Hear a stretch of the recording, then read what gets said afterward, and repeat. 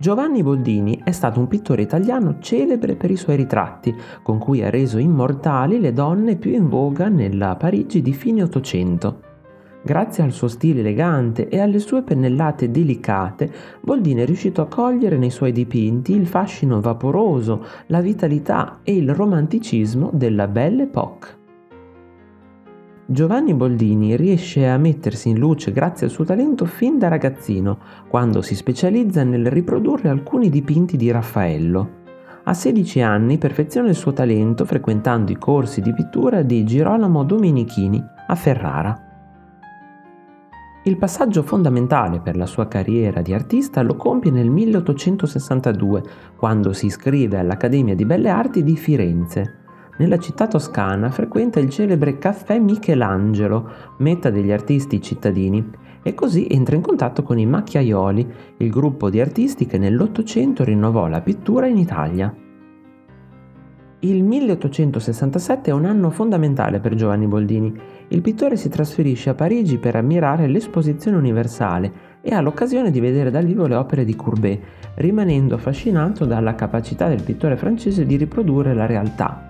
Nel suo soggiorno in Francia conoscerà anche i pittori impressionisti Edouard Manet, Alfred Sisley ed Edgar Degas.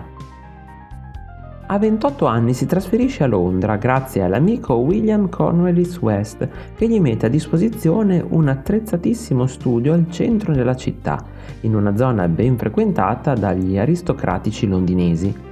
L'esperienza londinese aiuterà Boldini a entrare nei salotti buoni europei fino a diventare uno dei ritrattisti più richiesti. L'avventura inglese dura un solo anno Già nel 1871 Boldini è a Firenze per poi trasferirsi definitivamente a Parigi dal 1872. Ormai è un artista affermato, conteso dagli aristocratici, ma soprattutto dalle nobili donne dell'epoca.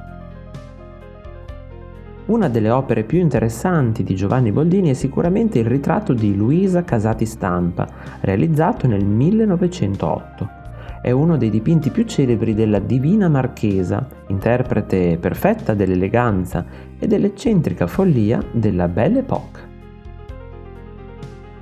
Oltre che splendide donne, Giovanni Boldini ritrasse anche passanti in strada, avventori nei caffè e celebrità dell'epoca come il compositore italiano Giuseppe Verdi, immortalato in un dipinto del 1886.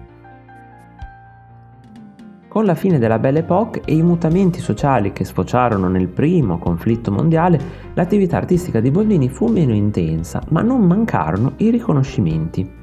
Nel 1919 l'artista venne infatti insignito della Legione d'Onore e del titolo di Grande Ufficiale della Corona d'Italia, nonostante si fosse ritirato dall'attività artistica a causa di un grave e improvviso abbassamento della vista. Dopo la morte, giunta quando l'artista aveva 89 anni, il nome di Boldini venne dimenticato, come se la sua arte fosse stata frutto di una moda passeggera. Verrà riscoperto all'inizio degli anni 60 e gli verrà riconosciuto il suo ruolo nella storia dell'arte italiana, grazie allo stile delle sue pennellate, che sarà fonte di ispirazione per gli artisti futuristi.